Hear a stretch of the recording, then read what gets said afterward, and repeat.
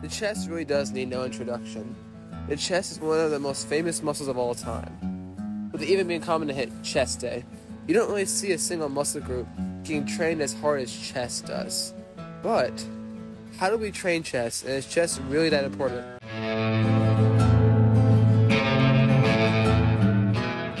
As with most muscles, chest is actually a bunch of tiny muscles, with one large one, the pectoralis major.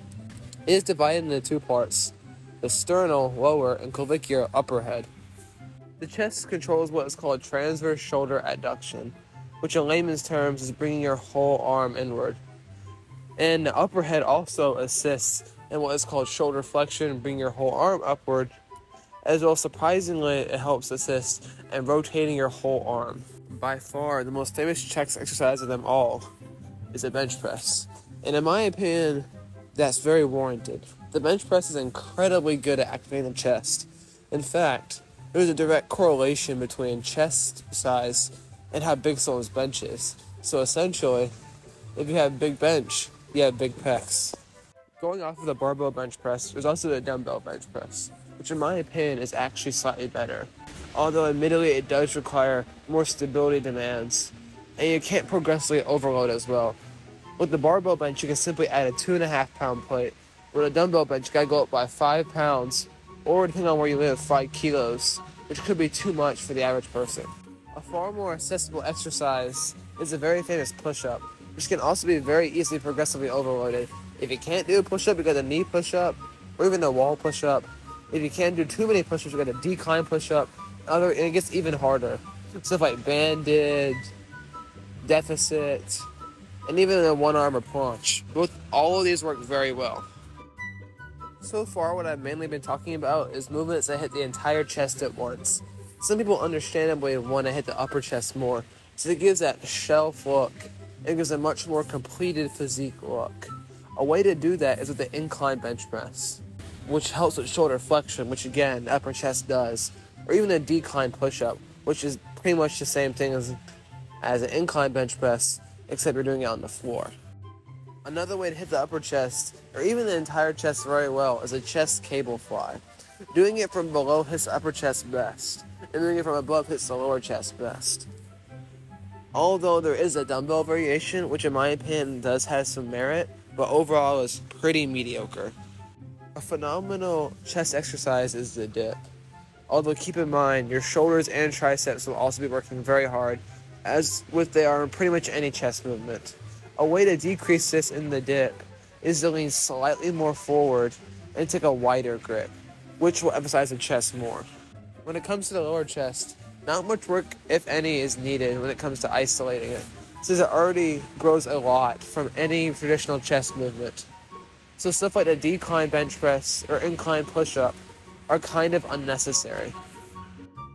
Another exercise is a dumbbell pullover, which is quite frankly pretty mediocre for the chest. It will see some chest activation, but it's much more of a tricep and lat exercise. There's another popular exercise popularized by Sam Sulek called the cross-body dumbbell standing fly.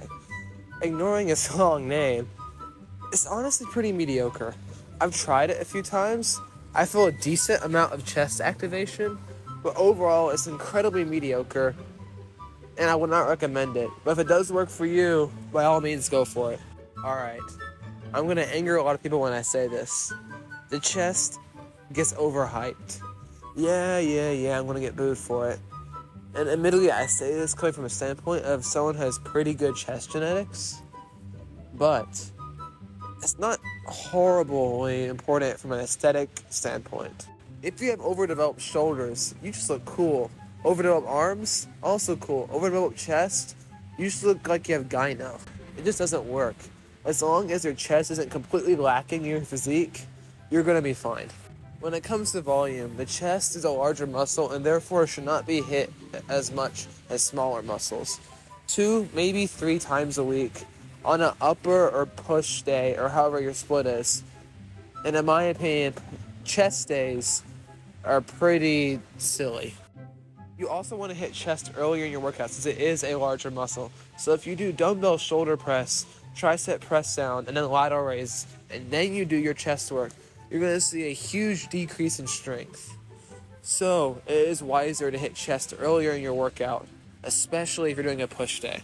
My overall recommendation for chest exercises is one push based movement, like the push up or bench press, and then one stretch focused movement, like the dip or fly. And if you want, you can add on an incline movement, like the decline push up or an incline bench press, or you can make that your push movement. Again, this all works, and unless you're doing upwards of four, five, six exercises for your chest, you're you should be pretty much fine. And that pretty much wraps up the video. Thank you for watching. Like and subscribe if you want. It would help the algorithm. And yeah. See ya.